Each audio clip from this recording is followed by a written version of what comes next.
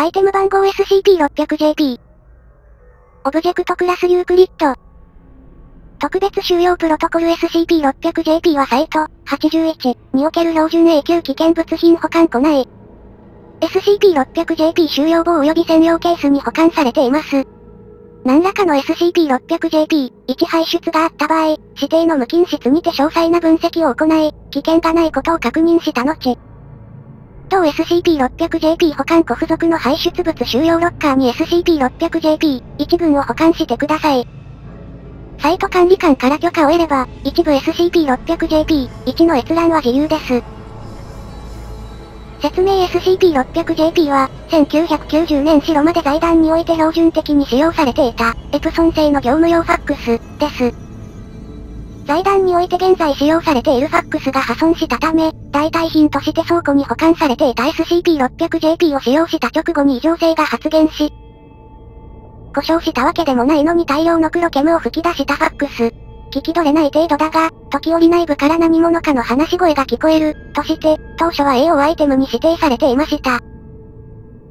しかし、受信部を中心とした数度にわたる閃光や爆発の発生、炎の噴出、保管中に受信部から突如数本の矢と思われる物品等が飛び出すなどの現象が多発、加えて、用皮紙に似た成分の紙片に文章が記された手紙のようなものが現れたことから、最終的にオブジェクトとして再認定されました。SCP-600JP そのものには長期保管の影響で多少の日焼け、汚れ等が発生していますが、特異性に影響はありません。SCP-600JP の異常性は、カバーストーリー、NR ノベライズ、に用いられる予定だったデザイン素案を財団フロント企業よりサイト、8181へ送信した際に発言したのではないかと推測されており、送信された画像の形状は一般に、魔法人、と称されるイメージを想起させるものです。デザインを行った同職員により、送信した際と同様の紙にてほぼ同じ図柄の作成をさせ、SCP-600JP と同じ型番のファックスにて送受信を行う。また、完全な複製を行ったものを送受信するなど試みましたが、SCP-600JP 以外に特異性は発現しませんでした。SCP-600JP は不定期に通常のファックス受信音を発し、受信部から様々な物品、あるいは現象を排出します。これを SCP-600JP1 とします。すべての SCP-600JP1 事案は未知の異世界を由来していると見られますが、こちらからの過度な干渉は SCP-600JP の破損を招く可能性もあるため、異世界側へのアプローチは成功していません。ですが、SCP-600JP そのものは SCP-600JP、1物品、及び SCP-600JP、1現象による影響を受けないことが確認されており、物理的に排出が不可能であろう巨大な実体が出現する。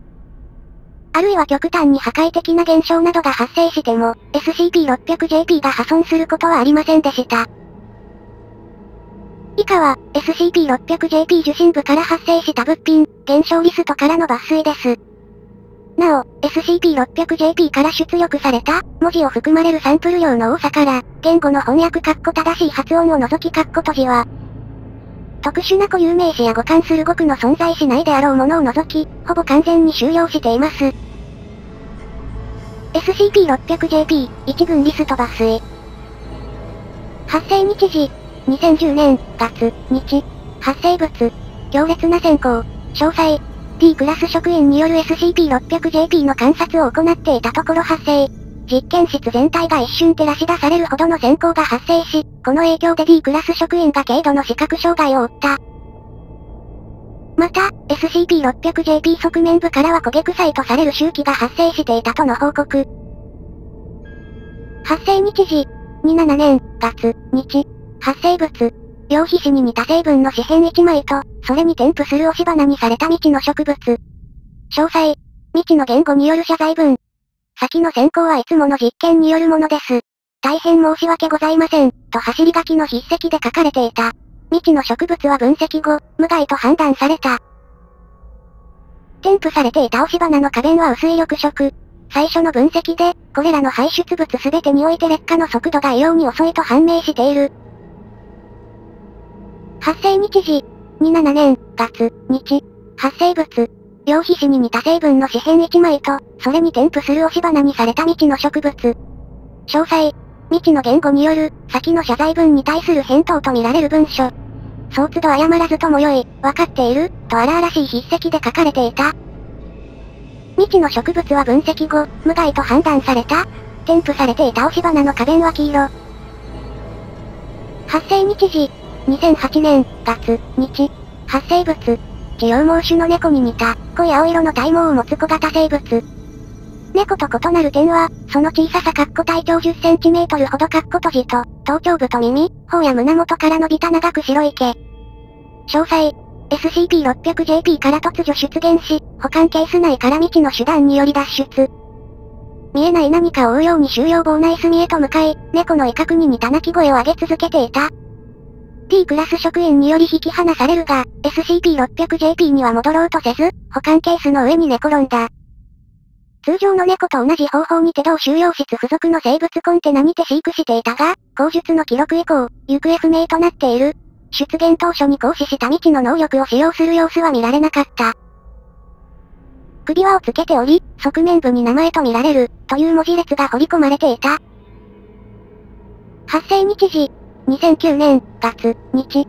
発生物。両皮紙に似た成分の紙片1枚。詳細。未知の言語による質問文。すまない、そちらに私の、は言っていないだろうか、と書かれている。発生日時。2009年、月、日。発生物。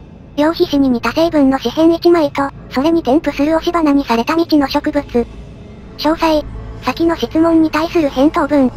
いえ、来ておりません。ひょっとして、また無理やりどこかに何かを送ったのですか？私の方でも探しておきます、と書かれている。添付されていた押し花の花弁は薄い緑色。発生日時。2009年、月、日。発生物。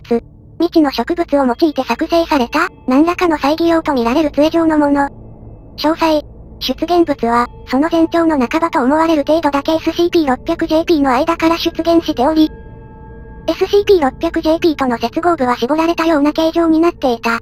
また、同出現物はこちらからの接触を行うまで何かを探すような挙動を取り続けていた。T クラス職員により牽引し引きずり出そうと試みたところ、女性のものと思われる短い悲鳴と、何らかの、文言、が SCP-600JP の内部より発せられた。直後、T クラス職員は SCP-600JP から飛びのき、未知のカエルに似た生物を吐き出した。この生物は出現した時点で死亡していたが、一般的な、カエル、とは異なり、暗所、暗所に適した眼球と、地球環境においては飛行不可能であろう翼のような形生物を持っていた。また、杖は D クラス職員が距離を取った時点で SCP-600JP 内部に戻った。T クラス職員は気分が優れないことを訴えていたが、30分後には通常の健康状態に戻った。発生日時、2010年、月、日、発生物、矢尻が未知の鉱石により作成されたヤゴ本。詳細、分析の結果、地球上には存在しないであろう元素で構成されていることが判明した。また、原理は不明だが常に炎を発生させていた。同様に、矢全体を構成する木の成分も、地球上では現在確認されていない。これらの全ては構成される元素の密度に対して質量が異様に軽く、そのまま射出した場合、地球環境下では目標に刺さらない。また、鉱石部に掘り込まれた未知の言語に対して機器が接触したと同時に炎の発生は停止した。現在 SCP-600JP 排出物保管ロッカーにて保管中。発生日時。2010年、月、日。発生物。両皮脂に似た成分で、焼け焦げた部分のある紙片と、押し花にされた未知の植物。詳細。蒸気事案直後に出現。ご無事ですか、とだけ記された、焦燥の中で書かれたように見える筆跡の荒い短文。紙片には血液に似た成分の薄赤い液体が大量に付着していた。分析の結果、含有する鉄分の比率が極端に少なく、この状態で人間の体内に存在した場合、生命活動を維持できないほど濃度が薄いことが判明しており、検出できていない何かしらの代替成分が含まれる。あるいは SCP-600JP の向こう側は、こちらの世界とそもそも環境が大きく異なっているのではないかと予想されている。添付されていた押し花の花弁は薄い灰色で、前回排出された花と同様の種である。また、花はあらかじめ調布されていたとみられる。発生日時、2011年、月、日。発生物。猛烈な爆炎。SCP-600JP 自体に影響は一切なかった。詳細。ノイズ混じりの受信音の後、SCP-600JP 側面部、側面部から収容室全体を焦がすほどの爆発が発生。これにより保管していたケースが破損、保管先を耐爆性能を有するケースに変更。発生日時。2011年、月、日。発生物。耐爆ケースを破損させるほどのケース内空気の膨張の後、未知の結晶が大量に排出。詳細。先よりノイズが無語受信音の後に排出。結晶はよどんだ灰色で、血走ったように幾何学的で複雑な文様をランダムに持っており、そのラインに沿って強い熱を放っていた。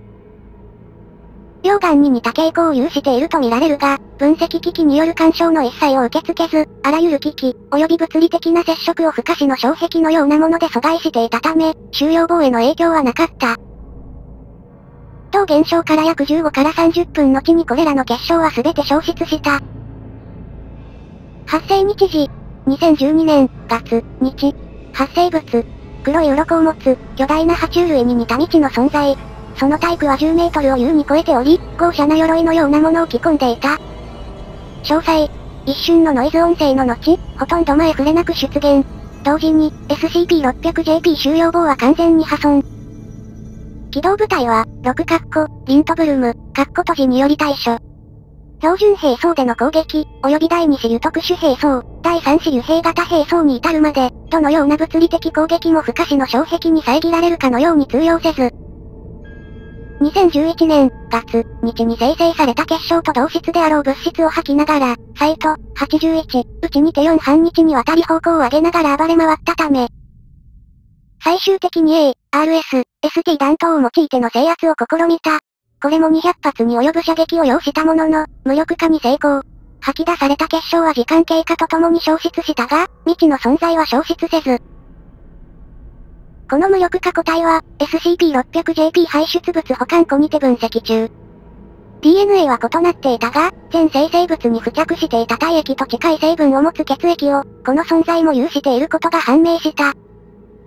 また、当時案における保管ロッカー等の破損に伴い、2010年、月、日に出現した猫のような存在が行方不明となっている。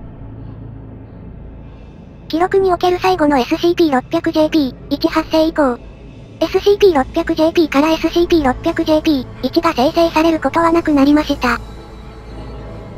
ほい1、SCP-600JP からの SCP-600JP、1出現が停止してから3年後、以前出現していたものと同組成の用皮紙が、通常の受信音とともに現れました。これらには未知の植物による押し花とメッセージが付与されており、約3ヶ月前、定期的に送られてくるようになりました。以下は初回に送付されたメッセージです。解読不能、部は、現時点で意味の判明していない何らかの固有名詞と見られています。空白、背景様。空白、冬の、解読不能、が咲き乱れる頃、あなた様におかれましてはどのようにお過ごしでしょうか解読不能、が続く中、解読不能、の下にご健在でおられますでしょうか空白、いつぞやは、かえって心配させてしまう内容の文を送ってしまっていたかもしれません。私はこのように無事です。ついあのような文を送ってしまったことを、今ここでお詫びしたいと思います。申し訳ございません。空白。それにしても、本当にお久しぶりでございますね。空白、かっこ中略かっこ閉じ、空白。そして、長きにわたったあの由々しき戦乱を生き延び、ついに私はこの筆を取るに至った次第でございます。空白、もしもこれが届いているのなら、どうか、お返事をくださいまし。